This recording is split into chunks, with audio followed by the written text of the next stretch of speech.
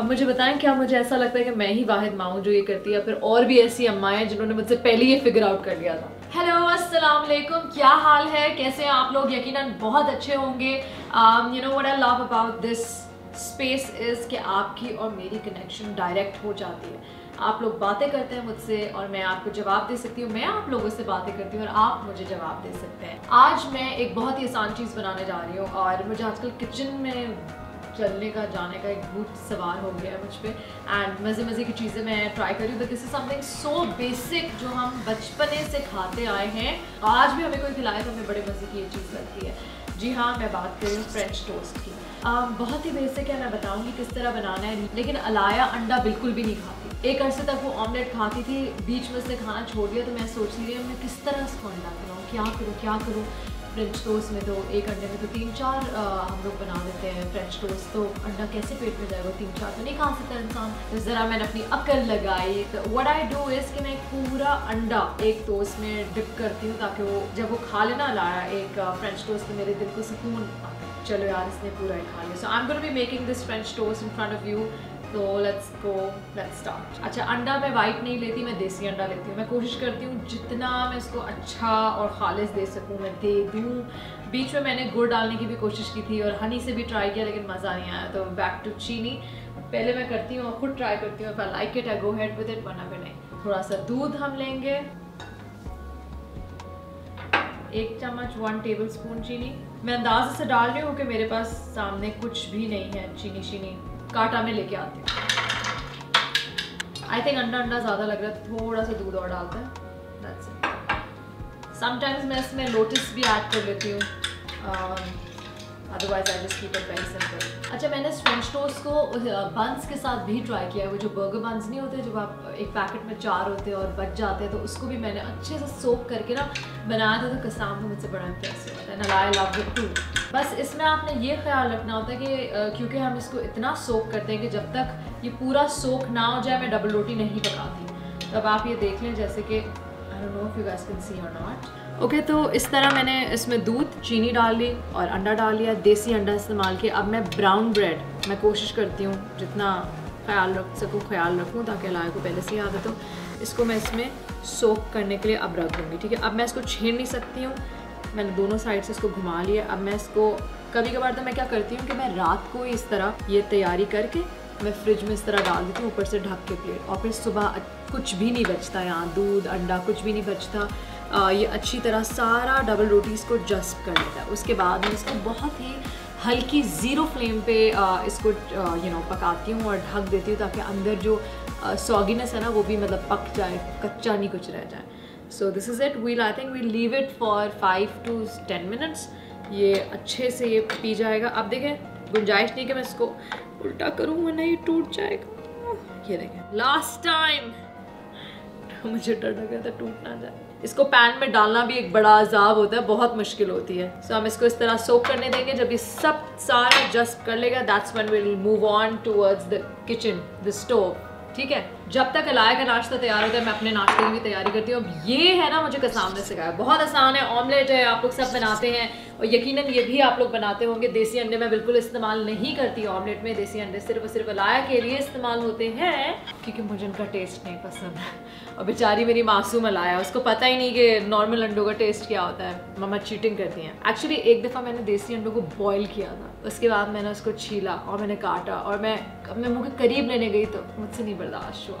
तो मैंने कहा नहीं भाई नहीं ये आखिरी दिन है देसी अंडों ओके दैट वी गो ठीक है लेकिन अभी क्योंकि मेरे पास देसी अंडे हैं सो जो है वो है। आई थिंक बॉयल करते हैं तब इनकी स्मेल थोड़ी अजीब हो जाती है लेकिन वैसे इट्स गुड बहुत थोड़ा हम नमक डालेंगे काली मिर्च बाद में अभी कुछ नहीं एक सेकंड थोड़ा सा मैं दूध डालूँगी ताकि थोड़ा फ्लफी हो थोड़ा सॉफ्ट हो। फिज़ा डालती हो तुम अंडे में दूध? हमारे साथ यहाँ फिज़ा है तो तुम्हें अजीब लग रहा है कि मैं दूध डाल रही हूँ। रियली आसन तुम्हें? नहीं नहीं सही है ना डालते हैं ना? नहीं नहीं मैं भी नहीं डालता।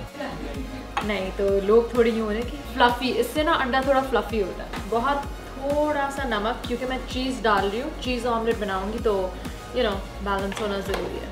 नमक हो गया, दूध हो गया, अंडा हो गया, फेंटने के लिए मुझे आई कैन यूज़ दिस क्योंकि इसमें भी दूध, चीनी चीनी थी इसमें। कोई बात नहीं। You know I love scrambled eggs मेरी अम्मा बहुत मज़ेदार स्क्रैम्बल्ड एग्स बनाती हैं बट मुझे नहीं पता। मुझे नहीं आता कैसे बनाते बिकॉज़ मैं जब भी बनाती हूँ कुछ ना कुछ ज़्यादा हो जाता है। आई फील लाइक थोड़ा सा दूध और डालना चाहिए। इतना टाइम तो सिर्फ़ संडे को होता है कि आप मज़े से किचन में जाएँ, कुछ बनाएँ। यू नो जब कसाम यहाँ आया था तो मुझे कभी कभार वाला ऑमलेट खिला देता था। मैं बड़ा इम्प्रेस हुई ना। मैंने कहा वाह कसाम, तुम्हें इतना अच्छा ऑमलेट बनाना है।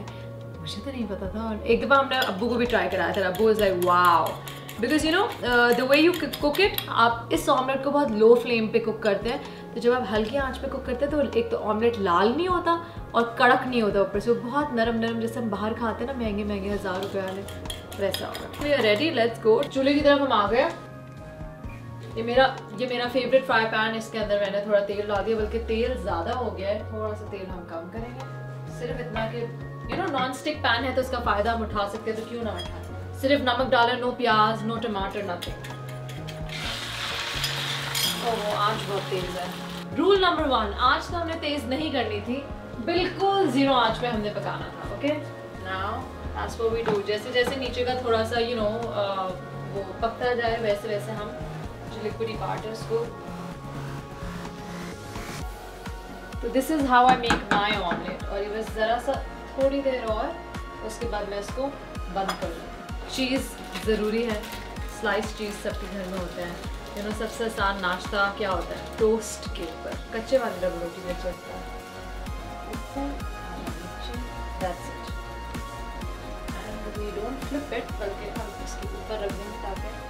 यार, हमेशा ऐसा होता है ना कि मैं जब एक्चुअली में कर रही थी तो होता नहीं है। तो आप लोग के सामने कसाम तो तीन दफ़ा सो करता है। But I just do this ओए ओए प्लीज़ ना तो प्लीज़ ना टूटना। थोड़ा सा टूट गया बट चलो, कोई बात नहीं। देखने आप कितना सॉफ्ट कितना ज़बरदस्त लग रहा है। अगर आप लोग कोई सवाल है इस दौरान, आप लोग मुझे मैसेज कर रहे हो, मैं आपको साथ साथ जवाब देती हूँ। वैसे ज़्यादातर सवाल क्या होता है? आपके साथ कोई हेल्प नहीं कराता, ये एक सवाल आया है। नहीं, मेरे साथ कोई हेल्प नहीं कराता। मैं अकेली हूँ, मैं खुद से हेल्प करती हूँ।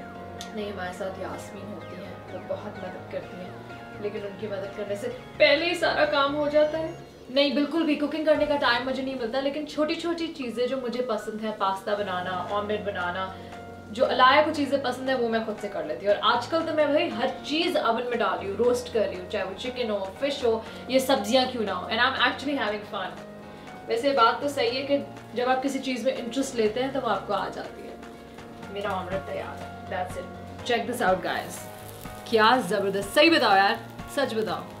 ओके okay जी, ये मेरा ऑमलेट बिल्कुल तैयार है and it looks absolutely amazing ये मेरा ऑमलेट तैयार है, आप चेक करें कितना अमेजिंग लग रहा है। Soft soft look at that cheese भी दिख रही है। It smells so good and अब इसको सिंपली आपने टोस्टर में टोस्ट डालना है, उसको कड़क करना है मक्खन लगाना है, ऊपर रखना है खा लेना है। Easy yummy so omelette is ready and now this is पलाया देखिए मैंने आपसे क्या कहा था? मैंने इसमें दूध भी डाला है, एक पूरा अंडा डाला है। और मैंने क्या कहा था? जब ये पूरा जज्ब हो जाएगा तो मैं इसको डालूँगी, क्योंकि जब मैं अलाया को दूँगी और ये खत्म कर लेगी तो मुझे एक सेटिस्फैक्शन होगी कि चलो यार, मेरी बेटी ने एक पूरा अंडा खाया this is the only way कि मैं उसको अंडा खिलाऊं। अब मुझे बताएँ, क्या मुझे ऐसा लगता है कि मैं ही वाहिद माऊँ जो ये करती है फिर और भी ऐसी अम्मा है जिन्होंने मुझसे पहले ही फिगर आउट कर लिया था? ठीक है थोड़ा सा हम इसमें तेल डालें।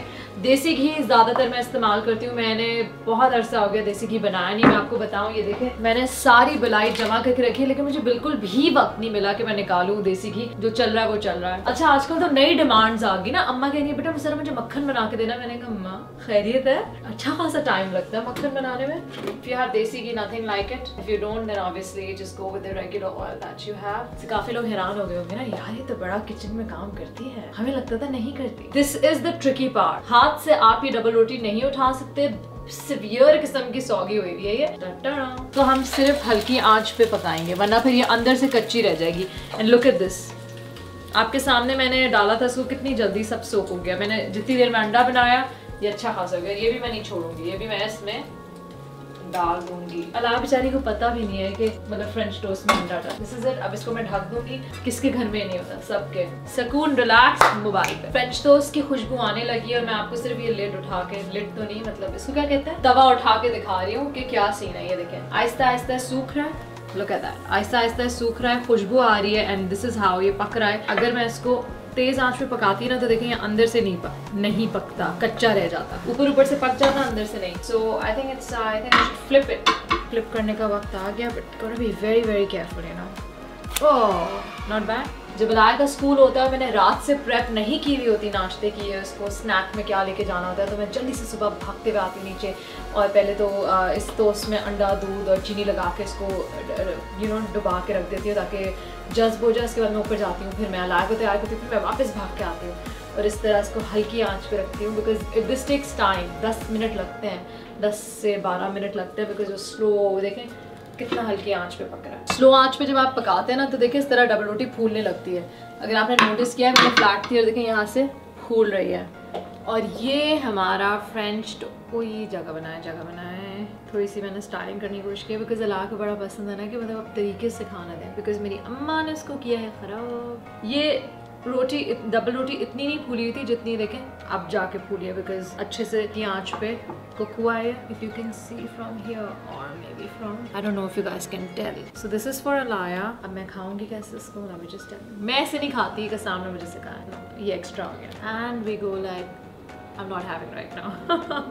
so this is our typical breakfast uh, जो मेरी कोशिश होती है कि वो भी खाए और मैं भी खाऊं। And on this note I'm gonna say bye bye. खुदाफिज please do tell me अगर आप लोग भी इस तरह बनाते हैं या फिर आपके पास इससे भी कोई बेहतर तरीका है तो मुझे बताएँ ताकि मैं भी सीख सकूँ उसके साथ। अपना ख्याल रखें। खुदाफिज